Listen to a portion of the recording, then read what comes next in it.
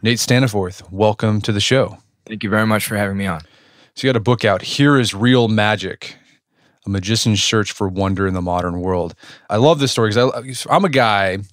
I'm a romantic at heart. Like I love the you know the idea of wonder and awe, but also I live in the 21st century, and so it's easy to be cynical and jaded. And you're like, does wonder exist?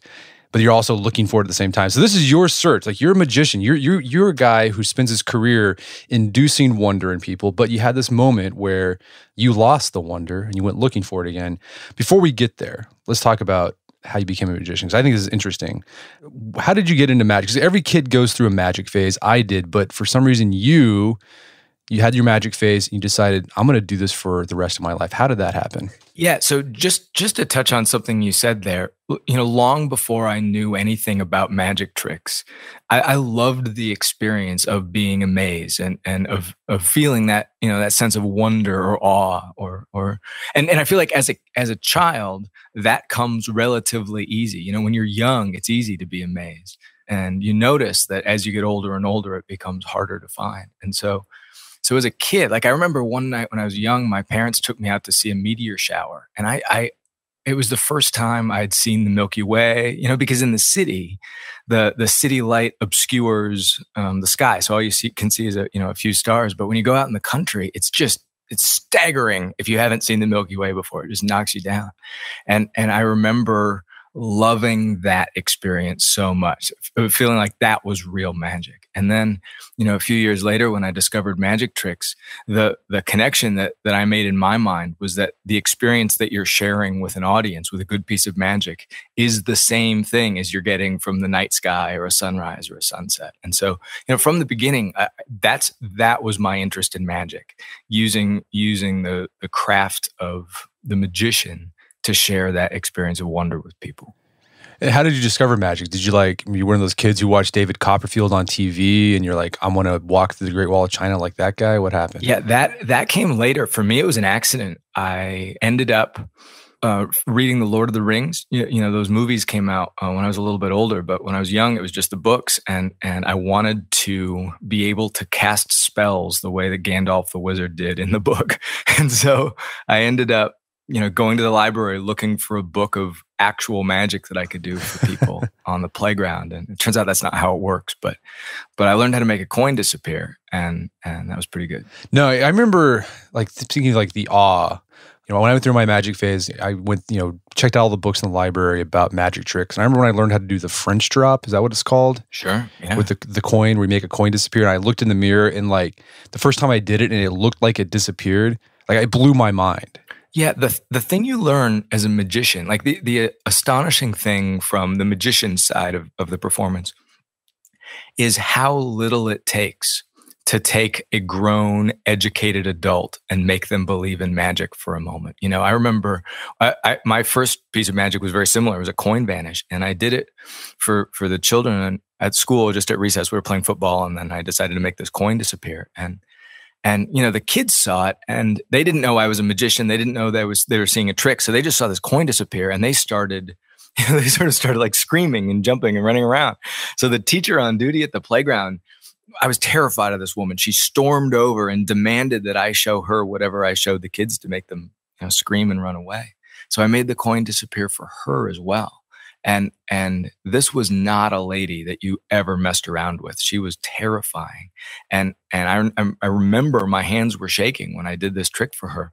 But when i opened my hand and showed her the coin was gone and i looked up it was like the, the transformation was total. She she was no longer this you know this authoritarian dictatorial teacher uh, presence on the playground. It was like she was a little kid again. And and that far more than the secret to the trick blew me away. You know that that you could use anything and and take someone through that transformation. That that felt incredible to me. It's like what do you think what do you think is going on there? Why why do we feel wonder? Like is it just like the mystery that we don't know? Is it i mean what do you think is going on there? Yeah i mean i think it's i think it's a lot of things going on but but i think especially for adults you know and, and and I say this as an observation of my own experience as much as you know seeing the, the people around me. But I know that in my life, I'm very good at making things ordinary. You know, uh, humans are really good at getting used to things, and and when I think about my favorite moments, it, it, it is it's those moments that have that have pulled me out of that sense of the ordinary. And, and magic is so good at doing that because it takes something that you think you know and turns it on its head right away. It's almost like skydiving. You know, I think that I don't know if you've been skydiving before, but but it is a total violation of everything you think you know about how you should behave, you know, because they open the airplane door and you jump out and it's just that that is such a eh, you, you don't do that. That you have to be crazy to do that. But but when you make that jump, there's this sense of freedom and release, and and that's how good magic feels as well. What's the career path like to becoming a professional magician? Because that's something I have no like. I mean, if I were like, if my kid said I want to become a magician, I would I would have no clue to tell them like, well, here's your next step. So what does that look like? Yeah, well, and you know, I grew up in Iowa, um, and and no one from Iowa grows up to become a professional magician. You know, I think maybe if you grew up in New York or Las Vegas or Los Angeles, where there are other professional magicians, you could you could see someone else and try to copy their career path. But but for me, that that just wasn't the case. So I think you know, I think I, I my in my experience, I just had to make it up as I went, and uh, you know, in, in my town, I grew up in Ames, Iowa, and there was this there was this athlete. He was in middle school when I was a kid, and then he went to high school, and he was a, a, phenomenal basketball player. And you know, the whole town would go out to watch him play. And then he got signed on to the local college team, and then he made it to the NBA, and then he was he's the the head coach of the Bulls now, Fred Hoiberg. But but growing up and seeing this guy rise from a, a small town in Iowa to you know national superstardom. That was it was an incredible thing to see because it made me realize that even as a, a, young magician like it's it, it's okay to have an unusual job. It's okay to do something that not everyone else is doing. You know i thought if he could make it to the nba maybe i could make it as a magician. So i just started doing shows everywhere. I did them for birthday parties and cub scout banquets and you know, the advantage I had is that I was the only act in town. Uh, if you wanted to hire a magician for your children's birthday party, I, I was even at age 11, I was the only option. And so, you know, I just, I, I got in a great deal of experience, even by the time I finished high school, that, that allowed me to make the, the jump to becoming a professional. I think a little, a, a little more intuitive. It didn't seem like as big of a jump because I'd already had so much flight time. Did you go to college I did, yeah. But I, I, I, went because I got an acting scholarship and I thought maybe I could learn something about becoming a great magician by studying stagecraft and, and dramatics. But in the end, the best way to learn how to do magic for people is just to do magic for people. Do magic for people. I mean, what, I mean, I imagine it's just you're on the road a lot, right? It's just like constantly touring, correct? Yeah, it, it is. You know, I think I had this vision of, having there be some point where you make it where you feel like you've arrived and and you know finally you're on tour and and that lasted for about a week. And after that i was just faced with the relentless reality of traveling you know 100 days a year 150 days a year 200 days a year. And uh, and and you know there's a very small window of my day where i do the show and the rest of my day was just dedicated to getting from one place to another. One place. So it's a grind. I mean, and also, I mean, here's another thing like about magicians and performers, particularly magicians, like they give off this aura of mystery. You know, they make everything look effortless and easy. But you know, we did this post on uh, Harry Houdini and sort of his work ethic a couple years ago, and you know, researching it, like I was blown away about how disciplined and how much willpower and how much of a hard worker this guy's was. Like it was it was just it was mind blowing. It was a grind. I mean, do you did you take that sort of workman like approach to your magic as well? Yeah, Houdini was my hero growing up, and and I think for a lot of people, you know, there's no. Uh, here's the thing about magic: there's no practical reason to be a magician. If you want to be famous, there are far better ways to become famous. If you want to be rich, there are far better ways to become rich. So you only do magic if you love it. And and you know, some of the most hardworking people I know are magicians because it, it it just takes an extraordinary amount of work, not only to perform the shows and to go on tour, but to develop the material and to teach yourselves the skills that you need. So so yeah, I mean, Houdini sort of set the example for everyone. Uh, there's a quote of his that I have on my studio wall. He says, "The real secret to my success is simple. I work from seven in the morning to midnight, and I like it." And uh, you know, I I hit Malcolm Gladwell's ten thousand hours. You know, you've read that uh, to become a master at anything, you have to hit ten thousand hours. I hit that when I was twenty two, and you know, I think that's true for most magicians who who are serious about it. It just it takes a lot of time and a lot of work. Right. So this is kind of interesting. Question. I mean, that kind of raises the question: Is magic like an art, or is it more of a craft, like plumbing or carpentry? I, I, it's both, and I think, I think the reason I love it, or one of the reasons I love it as a prof- profession, is it, it, it's both. It's sort of like building a cathedral. You know, first you need to have this grand aesthetic vision and this, this, you know, this wonderful dream of how it will look when it's done. You need that, otherwise, you know, you'll never build anything. But then you also have to become a bricklayer and actually start to make it and uh, and finish it. And you know, so I think I think I'm similar to many other magicians in that the day is divided in two, where every day I have a series of things that I have to practice just to keep my skills up. But then you also have to look at, you know, the long term. What, what am I trying to build? What am I trying to create? How do I want this to feel? And that allows you to, you know, create things on stage for people that that really feel amazing. And you also, during this time when you were touring, you started getting touring, you got a girlfriend you even get got married. Like, what did your girlfriend think, or now wife, think was like? You said I'm a professional magician. yeah, like, was know, she like, is, is this going I, anywhere, or what's what's happening? Uh, we met uh, while I was still in school. She was in school as well, and and before I had made the jump to becoming a professional. So, I think we both, you know, knew what we were getting into a little bit, but it it is it is unusual. You know, that first year I was on the road all the time, and um, it it's certainly hard being away from home so often. I will say though that you know I think it's important to keep it in perspective.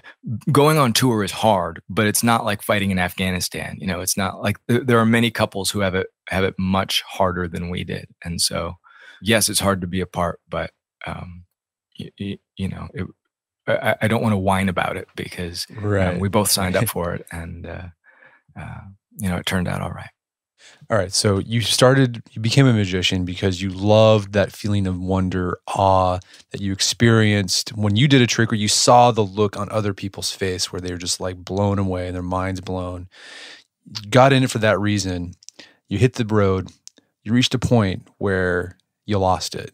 Tell us about that moment when you finally realized, like, I just don't feel the magic anymore in magic. Well, so so let me say this first. I think most professions have this problem where they, you know, on the outside it looks glamorous and it looks wonderful and exciting and and that sort of glittering veneer conceals a grinding day-to-day reality within. You know, I, I, don't know anything about being an architect. I think on the outside, being an architect looks amazing, but I'm sure there are probably vast swaths of the job that are tedious and and you know very much a grind. And and the same is true for being a magician. You know we've already spoken about the the rigors of travel and and the amount of practice time that it takes but i i i found you know i i as soon as I graduated from college, I jumped into the world of touring as a magician. And after five years, I was just burnt out. I, I, I, had thrown myself at this. I had dedicated my entire life to this. And I was just, I was tired and, and it didn't, you know, for, for someone whose job depends on being able to share that experience of wonder, none of it felt very amazing at all. And, and there was one night when I was on stage in Milwaukee and I, you know, I had been on the road for for a, a, long time, and in the middle of the show, I just stopped and I said, "I'm sorry, I'm I'm done. I'm uh, I'm gonna go. Good night." And I went back to my hotel room, not knowing what to do because I, I I felt like whatever ship I was on was sinking, and I needed to figure something else out. Yeah, I mean, I do think that that's why I, I love this book because I think that happens, like you said, it happens to everybody. Uh, you know, they get a profession or they start this thing that they love, but then it just they lose lose the spark and it becomes a grind. I mean, what's compelling about your story is that your whole job is to convey magic, right? Convey yeah. that feeling, and you lost it too. You know. Yeah, that's right. You know, when when you lose that spark in another profession, you can you know maybe fall back on the craft or or even just feeling like you're you're doing something useful for for the world but as a magician when you lose that that sense of of um, that spark or that you know that sense of wonder about the work that's the very heart of the profession that that you lose and so I felt like I was such a phony on stage because I was trying to give people this experience that that I couldn't feel at all. And you know, a, a, magician has to believe in the magic on some level, or or it doesn't feel like magic. You know, it just feels like a trick. Nobody likes being tricked. Nobody likes being deceived.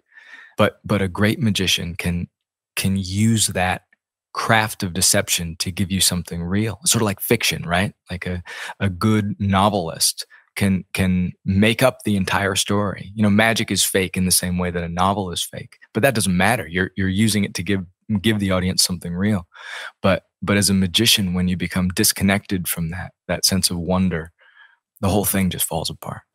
Did this has this ever happened to other magicians? Like, did this happen to Houdini, for example? Did he get jaded about the profession? He did. You know, most people most people don't know this about Houdini, but but he spent the last I don't know third of his career trying to get out of the magic business. And you can read his letters, and he talks about the rigors of being on the road and how exhausted he is. And and you know, he he tried to get into the movie business. Uh, he started the Houdini Motion Picture Corporation because he wanted he wanted to find another way to work. And uh, yeah, I think I think it is. I mean, I, you know, as we said, I think it's a liability in any job, but but it's especially true for the magician because because of the uh, the importance of of uh, wonder and and you know feeling that when you're when you're trying to give it to the audience. So, and what did you tell your wife when you said, uh, you know, I don't know if I can do this anymore? And yeah, know, well, she, I mean, she she she had been part of the process the whole time, you know, talking while I'm on the road and you call home. And, and then when I'm home, you know, it, at first I was thrilled to go out on tour and, and then I was ambivalent about it. And then I, I dreaded it. And I, you know, it was like a, like a death sentence, you know, watching that date come closer and closer on the calendar.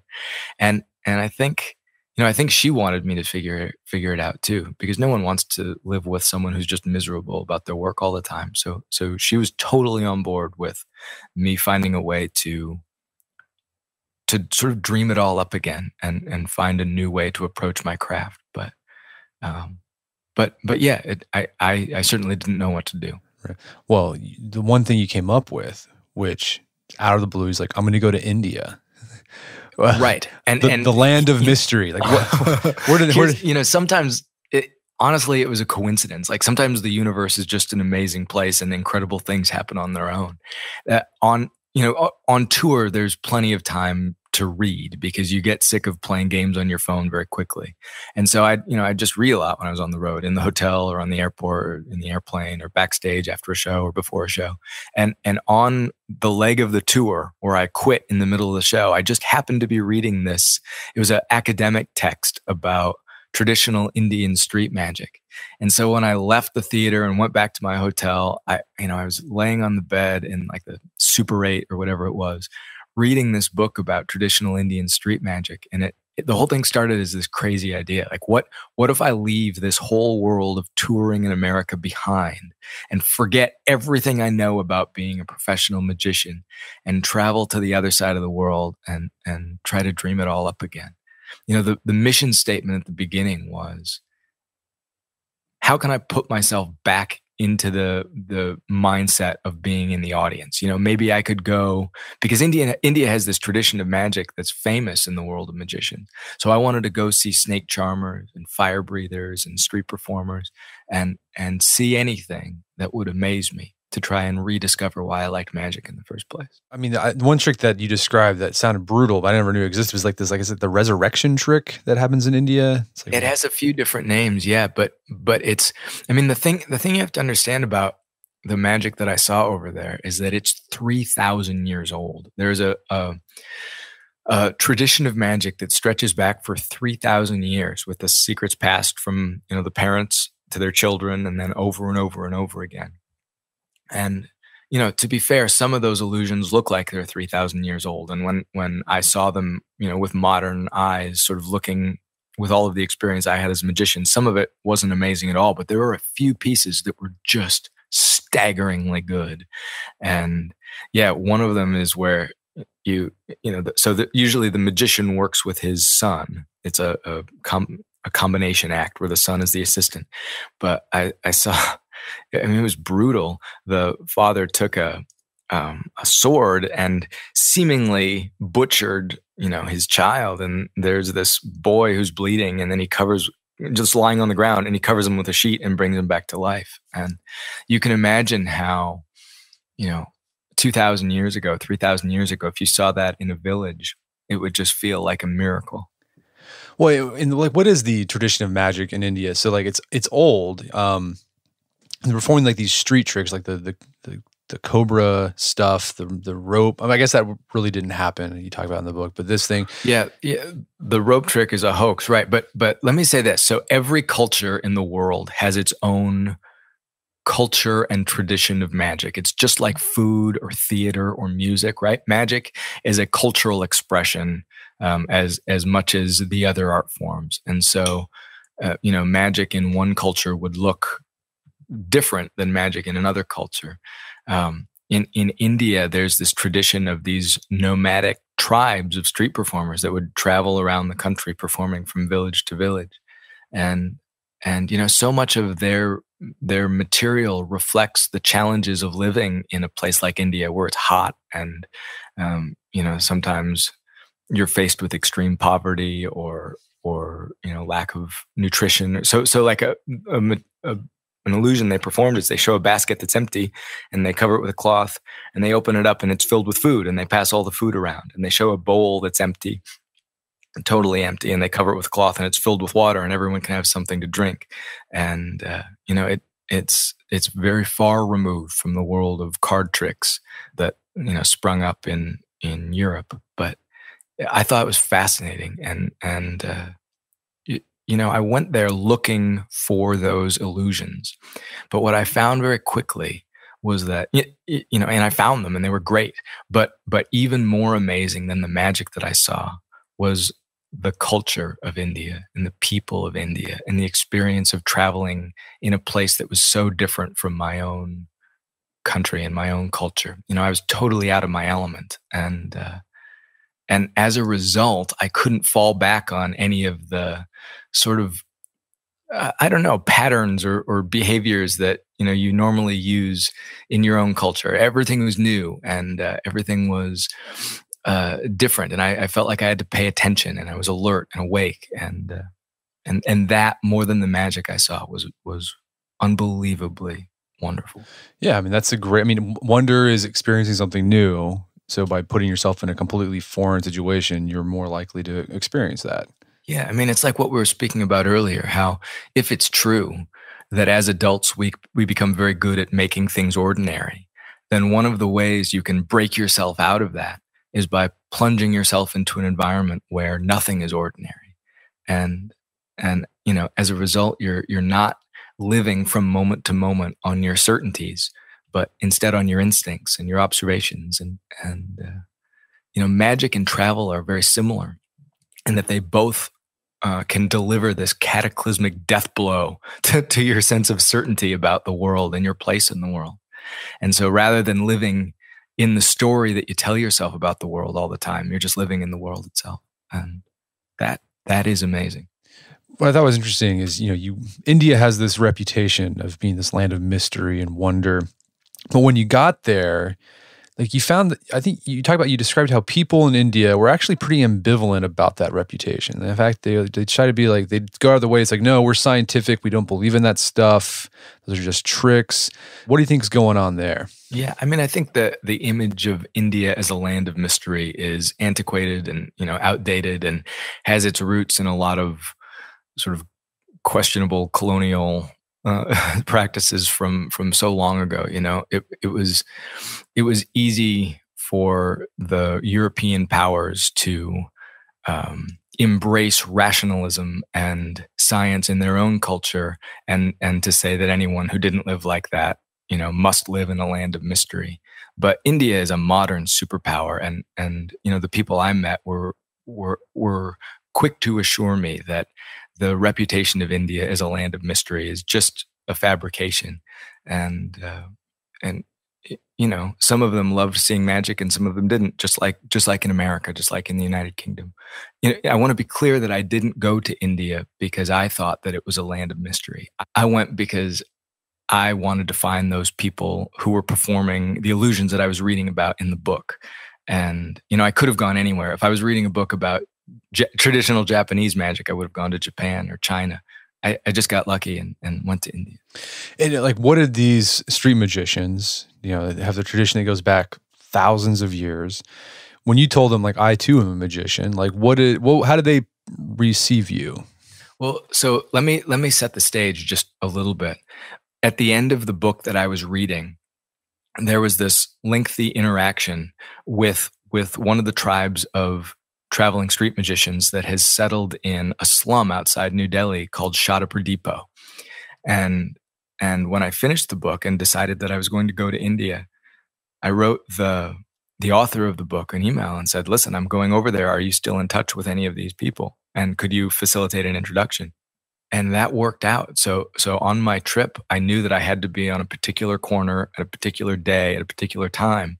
And one of you know the leader of this tribe would would take me in and and talk to me about his his illusions. And i get to see all the stuff that i read about.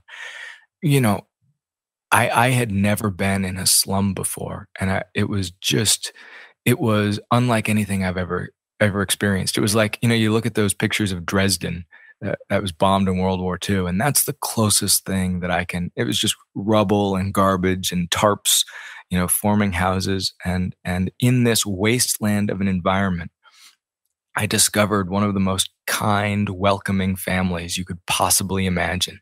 When they discovered that I was a magician and I wanted to talk with them about magic, they welcomed, welcomed me into their home like I was a long lost member of their family. And and, you know, I thought I was just going to speak for an hour and I spent the whole day with them and they cooked this enormous feast and, and showed me all of the magic that, that I wanted to see. And they also wanted to see the magic that I did. Some of the pieces in my show have their roots in, in that traditional Indian magic. And so it was, it was incredible for me to be able to show them my version and they could they could show me theirs. And you know we we had nothing in common. I, i'm a magician from iowa and and they live in a slum outside new delhi. So we had nothing in common but magic but but that was enough. No as you described that you know they're, they're living in the slum but yet they're able to make a life for themselves right? I mean it's that's magic. It's like that's like alchemy right? You're turning lead into gold. That's that's exactly it. It it felt like an actual miracle. And and I'll tell you what's even more amazing.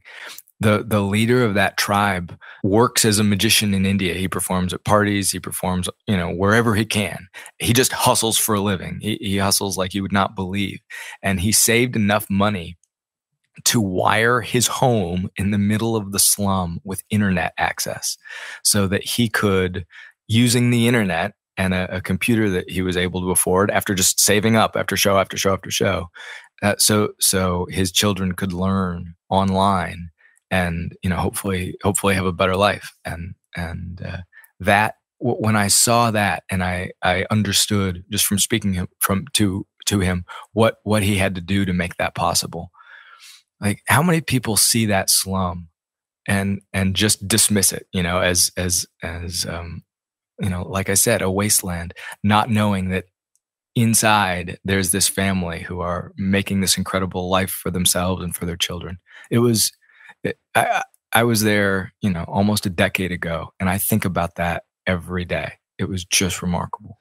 So was it was it the, the so the experience in the totality, or was there like a moment where you saw a, a an illusion and you're like, you had you were wow. I mean, was I mean, it, or was, it both? both? Like yeah. I, you know, I I in the book I, I talk about some of the illusions that they showed me, but but even, and and they were remarkable. And and there's one in particular I saw this version their version of the fire breathing illusion that I I still can't explain to this day. But far more amazing than any of the magic I saw were the people themselves. How in this incredibly tough, I mean, just uh, uh unbelievably tough. I'd never seen anything like it. That they were able to create this life for themselves and treat you know I, I I, guess I didn't know what to expect, and and the reality that I discovered blew me away, and uh, that was far more amazing than any of the magic that I saw.